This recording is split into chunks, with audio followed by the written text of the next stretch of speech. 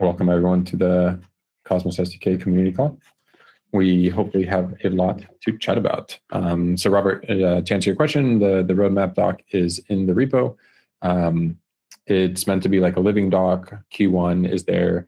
Um, I try and update it as often as possible when we complete work scopes um, and when work scopes bleed into the next quarter. Um, and there, and hopefully, we're going to be adding more information about where you can follow certain work scopes um, and also of the many teams who are assisting us in um, building out the Cosmos SDK. We're going to add their um, work scope or their kind of roadmap OKRs to the re- to that file as well. So there's a more holistic view on everything going on Cosmos SDK related. Um, I'd say there's a lot of like small things that like we do um, that aren't there, and so we get a lot of questions. But if you have any questions, concerns, or think that we're missing out on something, um, just uh, come over, yell at us. We're always happy to listen, um, and then we can work together on it. Awesome. So to start, um, we so I, I wanted to talk about like the Twilight, give everyone an update there, um, the Twilight release. Also wanted to give a short update on all the working groups. Um, there's been quite a few updates there. Um, and um, at the beginning and video 54. So I think, and then about textual. Those are all the working groups, right? And then we have a new one starting. Um, we're getting in the groove, guys. We're getting in the groove. Um, yeah, just like going through it. Probably might be better to instead of like going through Q1, Q2, like to break it down into the release, right? Yeah, because so, yeah, so this for most the, of the for most of us, it's like more important. Okay, like what will go in the next release? yeah. So this is um, this is something that I was actually talking to Julian about today. Um, so him and I are going to like sit down and do that uh, next week, um, and then we will be able to give a an updated um, updated doc on that. We may add it as a secondary section. So these are just work scopes that we're like starting, but they may not be included in the next release as you as you touched on, uh, Robert. So we'll be adding a document um, for like major releases coming in the in the next release. Um,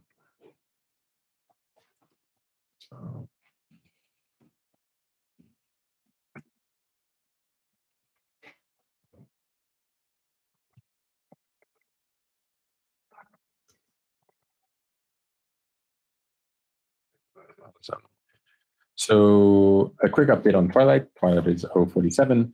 Um, we uh, we spun up a testnet with IBC and CosmWasm. CosmWasm did some testing on testnet. Um, and I, uh, I've been meaning to set up a faucet so anyone can come and play around on the testnet. Um, anyone can connect, send some tokens to Osmosis, put it on, create a pool with it, have some fun. Um, this is not financial advice. Um, but uh, yeah, just kind of like have some fun on the testnet. And so I can share links if you want to like test it. Um, and uh, so recently we were all aware that uh, Tendermint did a re- the, the Tendermint maintenance, the Tendermint core team did a rebrand of the product to Comet. And so um, we uh, made a group decision to pause Twilight to be able to integrate Comet. Um, and so we want to, um, so right now we're working with the Comet team. Um, they're doing their QA process. Um, and after the QA process, they will be able to um, then we'll be able to move forward with the releases. We'll be upgrading the testnet as well to Comet as soon as IBC and uh, CosmWasm upgrade. Um, the CosmWasm will begin the upgrade to Comet and any other changes in 047 March 1st. Already synced with them on that. So um, thank you, thank you to Confio, thank you to Ethan and Alex on that. Um, and yeah, and so that's currently where we stand on Twilight um, Giancarlo, you raised your hand. By accident, sorry. Oh, okay. no, no worries, no worries. Um, does anyone have any questions on Twilight itself? So what's the ETL? It's like ETA? Uh, it's like um, one more month, two Um, more months. The um, the update that we got from Comet and Adi is here on the call, so um, please correct me if I'm wrong. Um, the team's working as as hard as possible to uh, aim for a uh, release next week, um, and then we would be either depending on when that is during the week and how much we can, um, uh, how fast we can get the testnet upgraded and run the same tests with CosmWasm and other things. Then we will um, maybe at tail end of next week or the following week is the goal. Um, so that is the new timeline. Yeah, that I mean, sounds about right. We're, we're talking about 037, right? Yeah. Yeah. Yeah, that sounds about right. Thank you. Um, it's it's not a Cosmos release if you're not hearing every two weeks. Uh, if you're not hearing in, in two weeks, every two weeks. Um, it's how the hub started, and we're we're trying to keep that tradition alive. Um, hopefully, hopefully it dies pretty soon. Um, so I apologize. Um, any other questions on Twilight?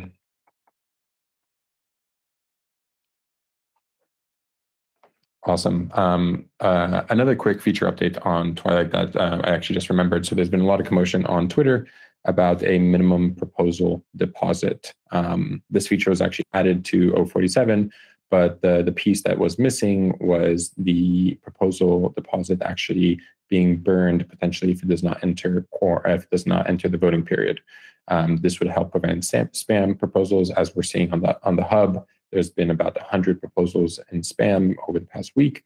And so um, we're going to be working on adding that burn, um, burning of the deposit, of the min deposit required by the proposer um, to help prevent spamming. Robert, do you have a question? I see you unmuted yourself. Oh, actually, I was thinking about the question because we have a minimum deposit, but this is for like creating the proposal, right? Because Yes. now you can create a proposal with zero deposit and then like ask people to make deposit. Yes. And this is when you create the proposal to that you automatically have to put something. Yes. Mm-hmm. All right, and then it's like this will it's like um this will be a governance param so um actually all the mechanisms um there was a pr open previously that all the mechanisms within um governance uh, that that could allow for uh the to- the deposit being burned so not reaching quorum not reaching voting period um, and other things could be switched on and off by governance. So the chain themselves will be able to decide if they want to burn in this scenario or if they don't want to burn in that scenario. Um, so this will be a PR that should be landing um, this week or early next week. Yeah, I was just Um, also thinking about, you know, but I guess it's out of scope still. Um, like that feature about um, like canceling a proposal. If you remember it, we just merged in the main, but I don't think it was like heavily tested um, on the testnet. Yeah, um, we haven't done QA on that, and the feature for burning is like it's a new parameter and then like a get of that parameter in a different place. So um, it's a bit safer of a change than an overhaul. Yeah, sounds mu- much easier. Mhm. But O 048 is um, so the next release of the SDK. Um, we're going to be working on like scoping what's going to be included in that release. The one guarantee that will be included is uh, sign mode textual handlers. So sign mode textual with the new Ledger app um, will be released, and uh, ABCI 2.0. So vote extensions and finalized block will be part of that release. Um, and that is uh, that those two those two items are guaranteed, and the rest uh, we will um, we will fine tune and get a document out.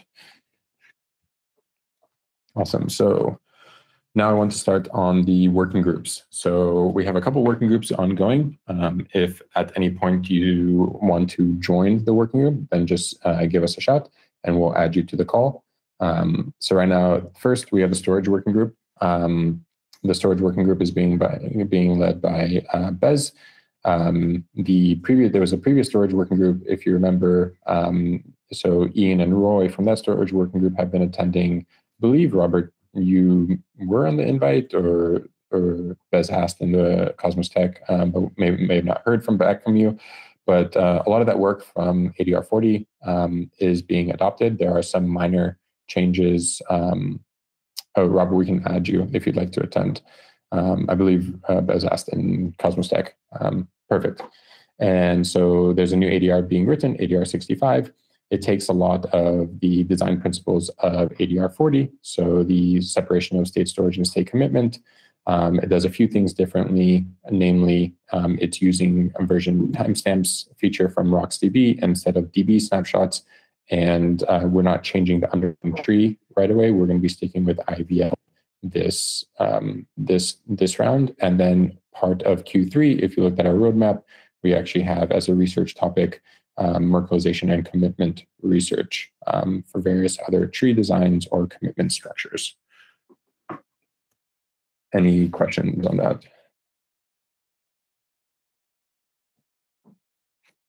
Yeah, maybe like if you guys like had a better look or a call with um what was his name? Not Ryan. Roy, Roy, and um, Ian. They've been, they've been, uh, they've been also attending the calls as well. They're on the call. Yeah. Yes. Mm-hmm. Cool. Yeah. So they've been attending. They've been giving feedback um, on their implementation and giving us the like um, what they learned from their implementation. Um, and so, um, yeah, keep up with ADR 65. Bez is writing it. Um, so Bez is yeah. The, by the way, I think they are using in in this what's the name of Laconic. Um, they actually said they they gave up on using it because it diverged so much from the SDK that maintaining it would be too much of a burden. mm.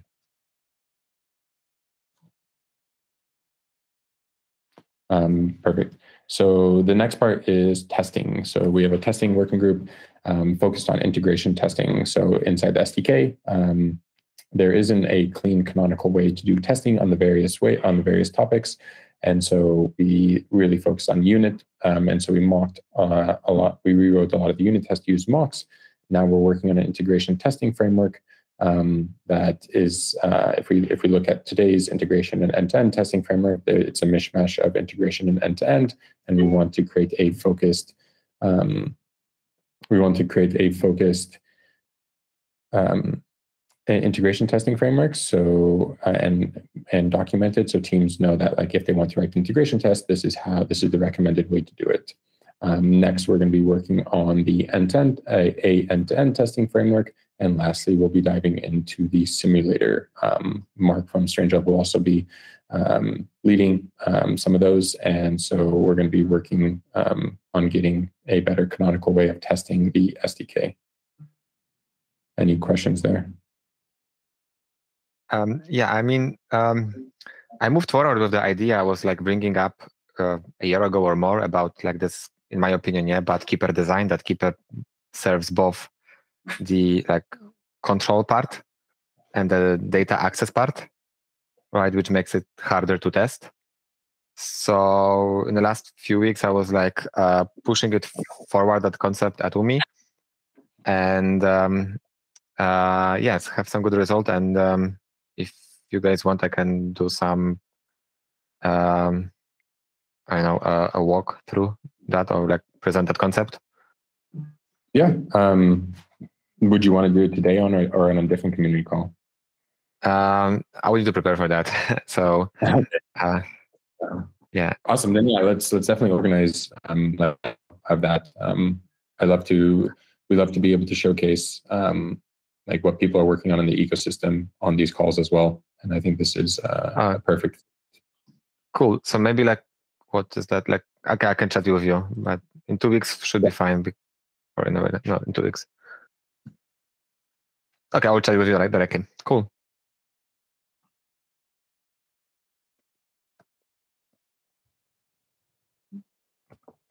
Some uh, Ferdy is leading the um, working group, so he's uh, been he made a proposal. Aaron made a proposal. We discussed it previously on the call. Um, he's starting a storage working group. There, uh, we haven't had our first meeting, or um, maybe we have Ferdy. Are you here? No, we didn't yet. I will send the invites for next week. Awesome. So yeah, so that's going to kick off next week, and there's going to be a lot of discussions about how authentication um, works in the SDK.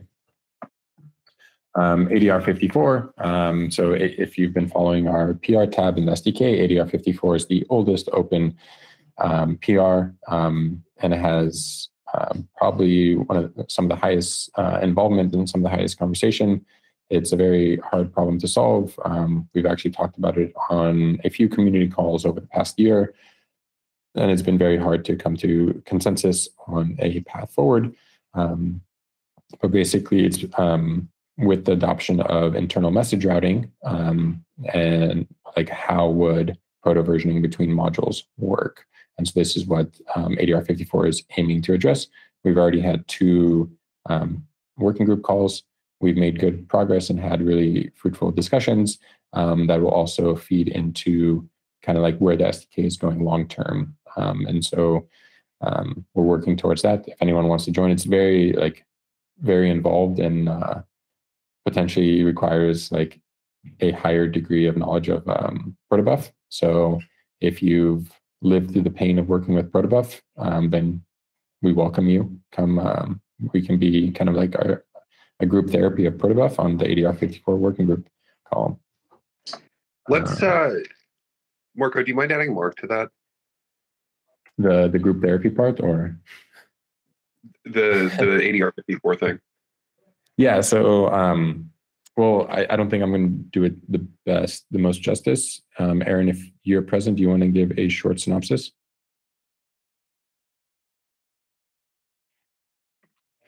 Sure, I can try. Um, so we're trying to figure out um, basically how do we deal with uh, like when we split up. Okay, we've started splitting up the modules in the SDK into separate Go modules. And in order to kind of make this dependency graph work, um, we need to think about okay, you know, if module A is depending on the proto the protobuf types for module B, um, does it depend directly on B or does it depend on the protobuf type separately?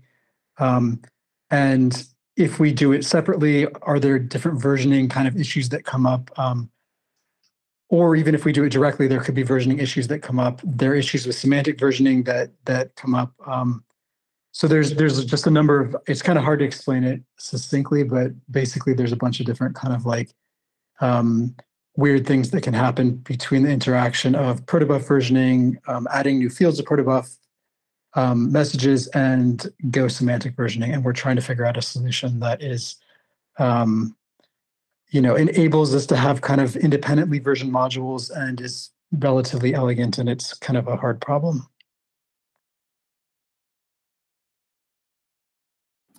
Yeah, it's it's very very hard. Um, really, yeah, it's really hard to like really articulate. Like in the ADR, there's even like I think six proposals on ways to approach it that we've been like discussing and going back and forth on, and basically um, Aaron, I think, proposed a majority of them, and then we've all taken like multiple weeks to like uh, the team has taken multiple weeks to digest them and really think through like how would this look in the long run and stuff like that. Um, so it's it's it is hard to explain as well. Um, yeah. Yeah, I think I get the issue. Um, anyway, Mark might be able to help here. I'll, I'll chat with him about it and um, forward him some content. Awesome.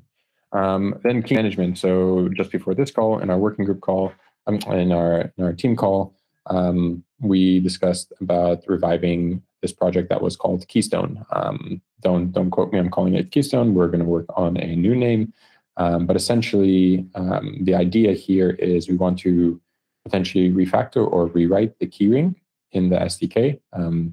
as we know, it was kind of like written to a certain point, and then the author left the project and it was never fully completed and had some bugs. Um, and so the idea here is we want to rewrite the keyring, but we also want to make external.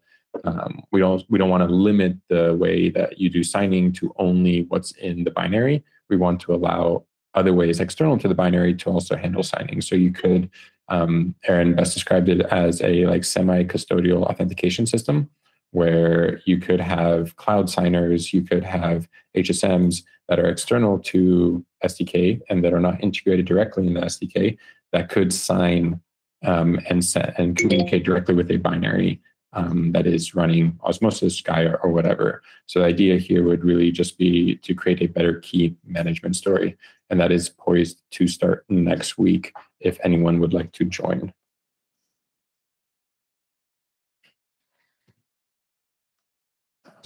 Do you mind adding Justin from the Strangelove team to that call? Uh, this has a lot of relayer implications. Yeah.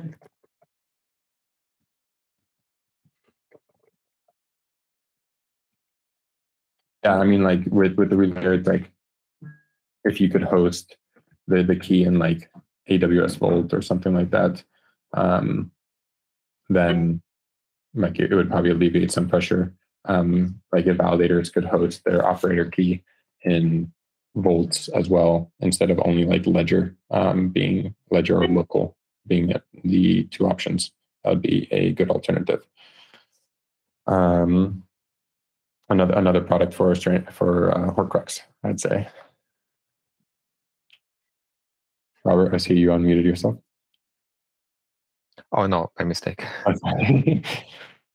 yeah, we've we've done Um, some of this on Horcrux too, integrating cloud signers. Um, so Yeah. anyway, Yeah, exactly. Um, so like I think you guys do it mainly for consensus keys, um, and then this would just be for the operator key um, and for signing in general, um, like a step forward.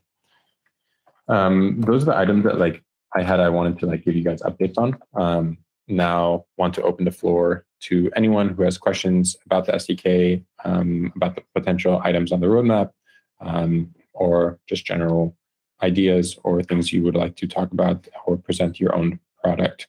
Um, does anyone want to go?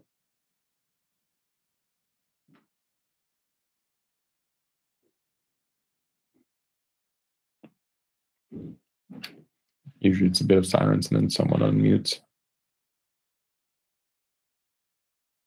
Awesome. If there's if no one has anything they'd like to discuss, at least this um oh someone added Oh yeah, I forgot about this.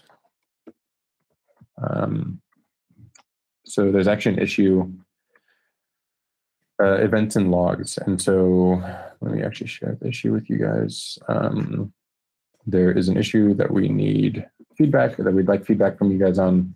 Basically, right now, how the event system works is um, that uh, the events are emitted in the event place of um, I don't know, is that directed at me or?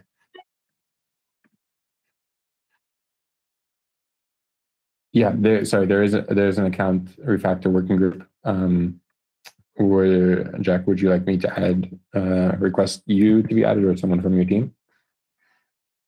um, I can go. I can go to one or two, and then I'll drag in people from my team. I just love to kind of see what's in the works there. Awesome.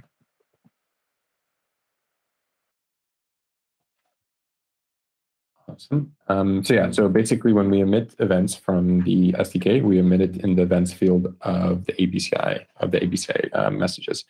Um, we also emit it in the field of um, the logs. And what's included in the logs has a index, and that index is associated to which message in the block.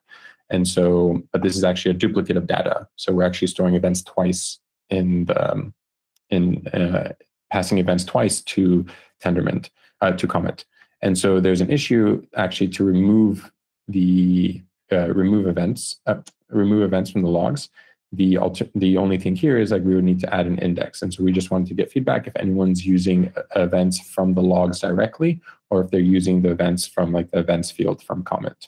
Um, I guess um, Jack from from your side on the relayer, um, are you guys? Do you know if you're using the events or the logs? Um, I believe that we're using the logs because we query the block results API, and then we pull all the events out of there.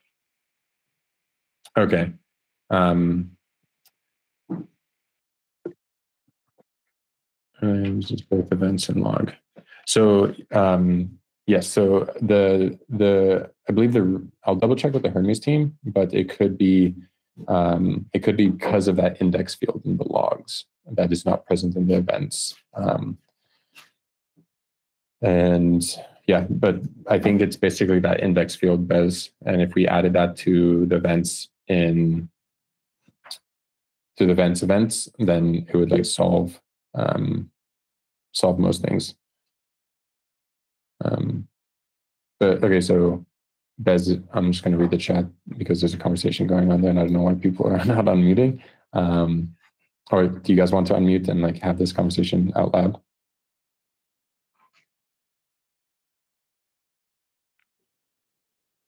Well, I don't know though the answer is because I would need to look in the code. I forgot. But the question was why why would anyone use the log? And I'm pretty sure we use it.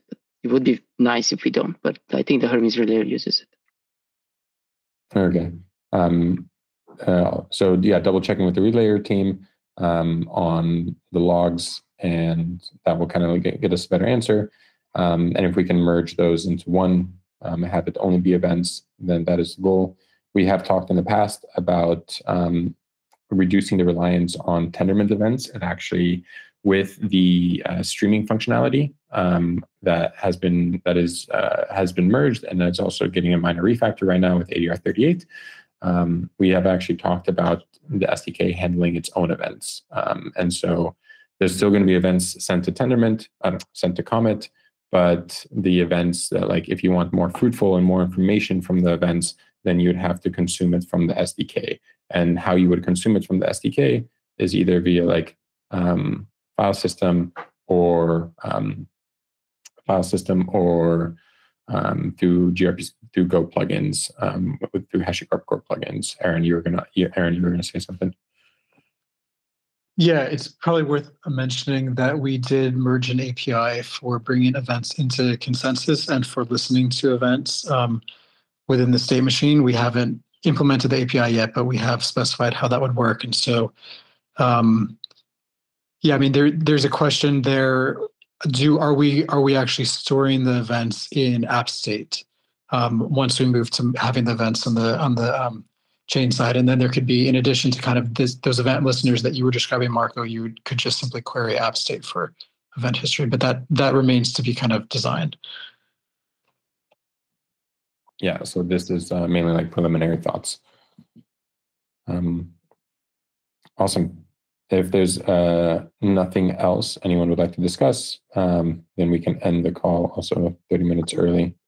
Last call. Marco, do you think um, do you think we should chat through just a little bit some of like the ADR 54 um, VM stuff that we were talking, or is it like premature to kind of bring that up here?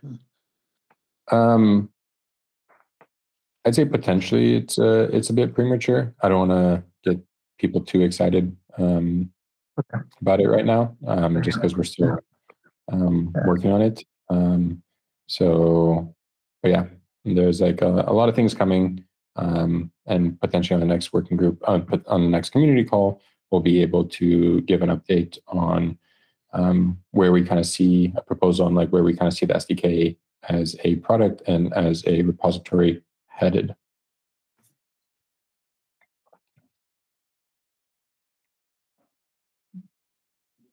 Awesome, guys. And then have a good weekend.